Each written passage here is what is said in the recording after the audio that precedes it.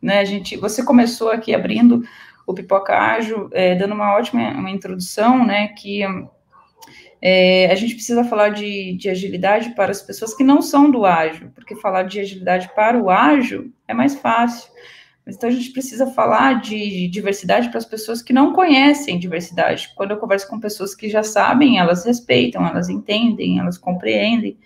Então, assim, acho que quanto mais a gente espalhar esse tema, esse assunto, mais as pessoas vão estar preparadas para ter um diálogo, no mínimo, né?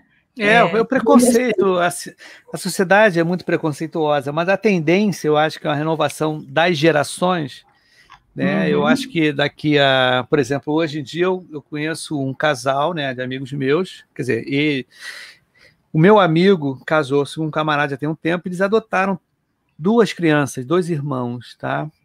Uhum. E eles, né, estão assim muito felizes, foi, eles formaram a família, tá? Tinham duas, eu achei bacana porque eles, eles fizeram adoção, tá? Muito bacana, e saiu matéria em jornais, porque ele, ele é ligado à publicidade, ao jornalismo, né, vamos dizer assim, ao, ele foi jornalista há muito tempo na, na Globo, tá?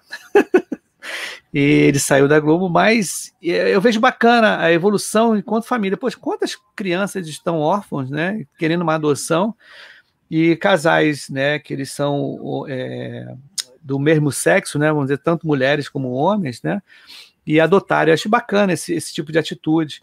E isso está muito mais normal do que era um tempo atrás. E as empresas e as pessoas que estão do seu lado ali trabalhando, elas, elas têm que se adequar. É que o negócio, o mercado está